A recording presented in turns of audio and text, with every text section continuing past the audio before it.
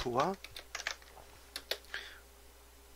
그 다음에 기토라고 하는 것이 있는데 무토라고 하는 것과 기토라고 하는 것에 뭐 차이가 여러 가지가 있을 수는 있겠습니다. 근데 가장 중요한 차이점은 뭐냐면 무토는 건토라고 하는 것이고요. 기토라고 하는 것은 습토라고 하는 것에 있습니다. 그래서 그 무토는 건토로서 물기를 머금고 있지 않는 그런 흙을 말하는 것이고 그 다음에 기토라고 하는 것은 어, 습기를 물기를 머금고 있는 어, 그런 흙이죠. 지지로 흙을 어, 토를 보게 되면 진술, 축, 축미, 토가 이렇게 있게 되겠죠. 그래서 진술토는 양토에 해당이 되는 것이고요. 축미토는 음토에 해당이 되겠죠. 진중 본기는 무토가 해당이 되는 것이고 술토도 그 본기는 무토에 해당이 되죠. 그래서 이 진술토는 양토에 해당이 되는 것이고 축토는 축토는 본기가 기토에 해당이 되는 것이고 미토도 그 본기는 기토에 해당이 됩니다. 그래서 어, 진술은 양토고 충미는 음토입니다. 이렇게 음양을 나눌 수 있겠고요. 그 다음에 이거를 갖다가 건토냐 어, 습토냐라고 놓고 봤을 때 어, 진, 진토와 음토와 어, 어, 축토는 이거는 습토에 해당이 되는 것이고 그 다음에 어, 미토와 술토는 이거는 건토 마른 땅에 해당이 된다라고 이렇게 정리를 하실 수가 있겠습니다. 그러면 이런 이런 경우가 있, 있 겠죠 뭐 굳이 뭐 건토와 습도를 나누느냐, 그죠? 뭐 그냥 그냥 흙이면 되지 않느냐? 뭐하러 그렇게 어, 건토와 습도를 나누냐? 물론 나누는데 나누는데 실익이 있으니까 나누겠죠. 몇 가지 뭐 건토라서 좋은 점이 있고 건토라서 나쁜 점이 있을 수 있고 그 다음에 습토라서 좋은 점이 있고 습토라서 나쁜 점이 있을 수가 있다라고 하는 겁니다. 그래서 이런 거예요. 예를 들어서 건토와 습토를 나누는 첫 번째 실익 뭐냐면 금을 세, 첫 번째 실익 금을 생할 수 있느냐 냐를 놓고 볼 수가 있겠죠. 그죠? 금을 생할 수 있느냐를 놓고 봤을 때 우리가 흔히 하는 말이 있습니다. 조토는 생금 불, 불능이다 이렇게 놓고 볼 수가 있어요. 마른 땅은 마른 땅은 금을 생할 수가 없습니다. 특히 뭐 인묘월이든 뭐 사오미월이든 경금이나 신금 내지는 무토일간이 무토 다른 일간들도 마찬가지예요. 토가 왕했을 때 그 왕한 토를 설기를 해야 되는데 금으로서 설기를 해야, 해야 되는데 마른 땅, 마른 땅 가지고는 금을 생할 수 없다라고 하는 것이고요.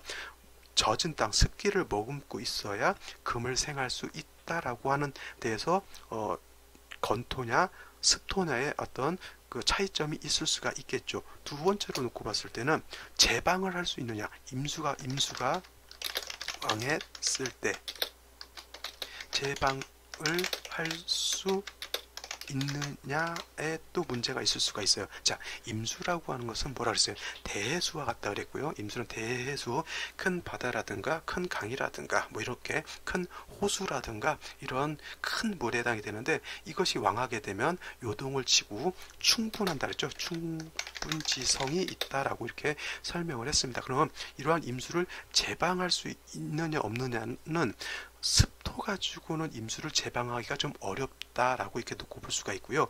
건토라야, 건토라야, 건토라야 어, 임수를 제방할 수 있다 이렇게 놓고 한번 어, 보자고요. 자, 예를 들어서 이렇게, 놓지, 이렇게 놓고 보지 말고 임수가 임수가 원령뭐 해월이든 자, 자월이든 상관이 없겠죠. 임수가 이렇게 있을 때 임수가 임수가 있다 있다라고 놓고 봤을 때 예를 들어서 기토라고 하는 것은 물론 습토이긴 하지만 습토라서 제방도 할 수 없지만 이 음토라고 하는 것은 습리 물기를 먹고 있는 진흙과 같은 것이잖아요. 그래서 기토 가지고는 임수를 제방하는 공력이 거의 없다라고 놓고 볼 수가 있고요. 뭐 기토가 임수를 보게 되면 이거는 사수 동류가 될 수가 있겠죠. 물론 임수 입장에서 기토를 보게 되면 제방을 깔끔하게 하는 것이 아니라 오히려 기토가 임수를 탁 임시키는 그런 안 좋은 역할도 물이라고 하는 것은 맑고 깨끗해야 되는데 맑고 깨끗해야 되는데 이것이 어, 맑고 깨끗하지 않다라고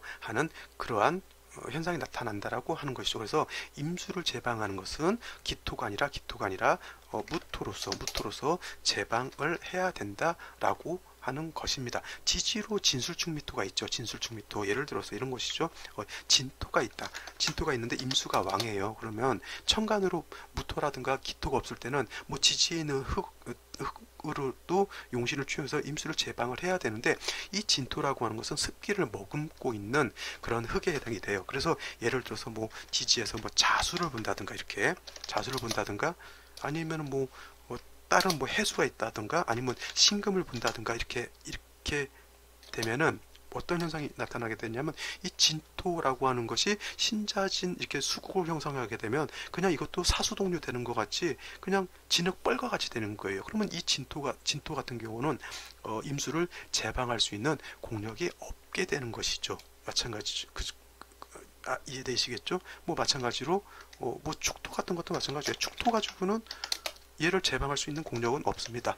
오히려 임수가 추월이 되어서 임수가 왕량했을 때는 오히려 무토가 투출해서 무토로서 제방을 해야 되는 것이지 축중에 있는 기토 가지고는 임수를 제방할 수 없다 이렇게 놓고 볼 수가 있겠죠. 오히려 오히려 임수가 왕했을 때 술토 가지고는 제방을 할 수가 있습니다. 술토 가지고는 이거는 어, 건 술토라고 하는 것은 말씀드렸지만 건토에 해당이 되는 것이고요. 술토는 건토에 해당이 되는 것이고 그다음에 이거는 왕토인 무토 와 같은 것이잖아요. 술에 해당되는 것은 무토죠. 건토 건토이면서 그래서 능이 능이 진토를 써서 임수를 제방할 수 있다라고 놓고 볼 수가 있겠죠. 그래서 실질적으로 임수를 제방할 수 있는 것은 청간으로는 무토, 건토인 무토고 지지로는 어, 건토인 술토에 해당이 되는 것이고 진토 같은 경우는 약간 어, 아리까리한 것이 뭐냐면 물론 진중의 봉기가 무토이기 때문에 뭐 사주 자체가 좀 건조하다라고 하면 진중무토로서 제방할 수가 있게 되는데 사주 자체가 건조하다라고 하는 것은 뭐냐면 임수가 약하다라고 하는 거예요. 그죠? 임수가 약했을 때 굳이 무토로서 제방을 할 필요가 없게 되는 것이죠. 해서 쉽게 얘기해서 어, 임수를 제방할 수 있는 건 건토라야 가능한 것이고 그것도 꼭 집어서 말하자면 무토, 지지로는 술토여야 한다라고 하는 것입니다. 이해되시겠죠? 자, 다음으로 생육의 공이라고 하는 것을 한번 살펴보도록 하겠습니다. 생육의 공이라고 하는 건 뭐냐면 만물이 자랄 수 있는 그런 여건을 말하는 것이죠. 자, 그냥 일반적인 흙으로 놓고 보자고요. 자, 작물을 심던 배추를 심던 어, 아니면 뭐 우리가 먹을 수 있는 오이를 심던 간에 마른 땅에다가는 마른 땅에다가는 씨앗을 뿌려봤자 씨앗을 뿌려봤자 음, 싹이 발화가 되지 않잖아요. 그죠? 적당히 흙 속에 물기가 있어야 씨앗이 무기, 물기를 머금고 발화가 돼서 새싹도 띄우고 줄기도 자라나게 되고 그 다음에 꽃도 피우고 뭐 열매도 맺게 되는 건데 조토 조토인 미토라든가 뭐 이런 뭐 술토라든가 무토 같은 경우는 마른 땅이란 말이죠. 이런 데서는 씨앗을 뿌릴 수가 없어요. 만약에 여기다 씨앗을 뿌린다라고 하는 것은 별도로 수가 있어서 이 마른 땅을 윤택해야 윤택하고 촉촉하게 해야지만은 이 마른 땅에다 씨앗을 뿌리고 어, 곡식을 심을 수가 있게 되는 것이죠. 근데 반면에 기토라든가 지지로 축토라든가 아니면 지지로 진토 같은 경우 특히 진토, 진토 같은 경우는 진중에 개수와 을목이라고 하는 것이 같이 들어가 있죠. 그래서 이런 경우는 기본적으로 물기를 각 가지고 있는 것이기 때문에 가지고 있는 것이기 때문에 곡식을 심, 심는다거나 하더라도 곡식이 잘 자랄 수 있는 여건이 되는 겁니다. 그래서 이런 거예요. 진토를 가지고 있는 사람과 술토를 가지고 있는 사람이 성향이 약간 달라요. 왜냐하면 술토라고 하는 것은 마르고 건조한 땅이면서 술이라고 하는 것은 가, 가을의 끝자락이잖아요. 그래서 예를 들어서 갑술일주와 갑진일주를 놓고 봤을 때는 갑술일주 있는 인 사람들이 되게 보면 성향이 약간 무미건조하고 거칠고 약간 투박하고 온정이 온정이 약간 좀 인정머리가 좀 없는 사람이 많아요. 왜냐하면 갑목이 술에 뿌, 술에 뿌리를 둬야 되는데 나무 뿌리를 내리는 흙이 어떻게 돼요? 물기가 없어서 물기가 없어서 건조하게 되니까 나무가 어떻게 돼요? 시들게 되겠죠.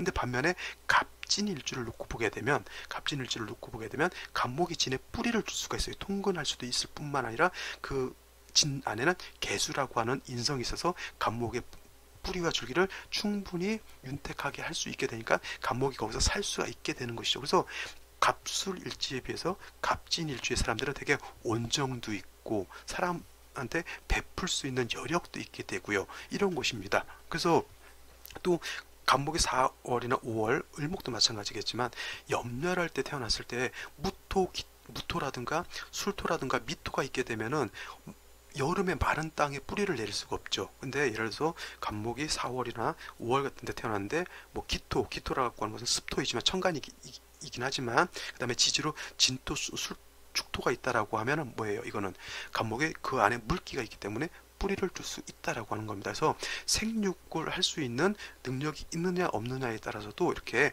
약간의 차이가 있게 되는 것입니다. 그죠? 그 다음에 마지막으로 마지막으로 이제 네 번째가 되겠네요. 네 번째가 됐을 때 이거는 뭐냐면 어, 화가 염려했을 때 때도 차이가 납니다. 예를 들어서 병화 뭐 어떤 일간이든 상관이 없어요. 4월이나 5월 5월 같은 경우에 지지로 화국을 이루고 병정화가 투출하게 되면 어떻게 돼요? 이때는 굉장히 사주국세가 조열해지죠. 한여름에 겁나게 날씨가 4, 50도 이상 올라갔는데 습기가 없어서 굉장히 건조한 날씨를 를 생각하시면 되고요. 미국 같은 경우 뭐 옐로우스톤 같은 데가 그런다면서요. 기온 자체가 4, 50도 이상 올라가기 때문에 그쪽 지방을 지나갈 때 차에 어, 에어컨이 켜, 켜, 어, 들어오지 않으면 절대 갈 수가 없다. 이렇게 그냥 차 위에 본네트에다가 계란 계란 풀어놓으면 계란이 다 익어버린다라고 하는 그런 아주 무시무시한 그런 곳이 될 겁니다. 근데 그와 같은 음, 것을 생각하시면 되겠죠. 그와 같은 경우에 기토가 있게 되면 기토가 기토라든가 축토라든가 아니면 진토가 있게 되면 그 왕한 열기를 이 습토이기 때문에 왕한 열기를 이렇게 빨아들여서 빨아들여서 뭐 그래서 열기를 식혀줄 수 있는 그런 여건이 되지만은 어, 조토인 마른 건토인 무토라든가 미토라든가 술토 같은 경우는 어떻게 돼요? 그 염려란 것을 화의 기운을 설기는 한다라고 하지만은 그 열기를 식혀주는 공력은 없습니다. 오히려 그 열기를 축장시킨다고죠. 그 열기를 가두어둬서 오히려 그 열기를 더 오래 가게 하는 거예요. 우리 쉬운 말로 이런 것이죠. 어, 대장간이라든가 용광로 같은 거 보면은 그 뜨거운 샘물, 뜨거운 열기를 가둬두기 위해서 쇠로 싸기보다는 흙, 흙 가지고 흙 벽돌을 쌓아가지고 그 안에다가 불을 지피게 하게 되면 어떻게 돼요? 그 녹지 않고 그 열기를 다 가다둘 수가 있잖아요. 근데 쇠로 하게 되면 쇠가 녹아버릴 수 있겠죠. 그 다음에 주물 같은 거, 쇠물을 녹여서 어떤 틀을 만들어서 주물을 부어가지고 어떤 기물을 만들 때도 그 틀은 뭘로 만들어요? 흙으로 만들잖아요. 근데 그거는 건토겠죠. 그걸 다 잘 다져가지고 그렇게 열기를 축, 그, 그 담아두는 역할을 하게 되는 겁니다. 근데 그 열기를 식혀주는 역할은 아니고 그 열기를 약간 가두어 둔다라고 하는 것이 그래서 4, 5월 같은 경우 화가 왕할 때 무토가 있거나 술토가 있게 되면 오히려 건조함이 더 가중되잖아요. 그죠? 습토가 기토라든가 어, 축토, 진토가 있게 되면 습기가 있기 때문에 그래도 그 안에 있는 생물이라든가 식물이라든가 동물들은 그래도 그 안에서는 살 수가 있게 되는데 무토 같은 게 있으면 완전히 땅바닥에 물기가 하나도 없이 다 갈라져 버서 없어진 것이죠. 그러한 차이가 습토냐 아니면 건토냐에 따라서 이렇게 네 가지 정도 물론 더 있을 수도 있겠지만 이렇게 차이가 있게 되는 겁니다. 자, 그냥 뭐 건, 건토 뭐 어떻고 뭐 습토, 습토는 어떠냐 이렇게 볼 것이 아니라 어, 건토는 건토로서의 장점 단점이 있는 것이고요. 습토는 습토로서의 장점 과 단점이 있다라고 이렇게 정리를 해두시면 좋을 것 같습니다. 아시겠죠?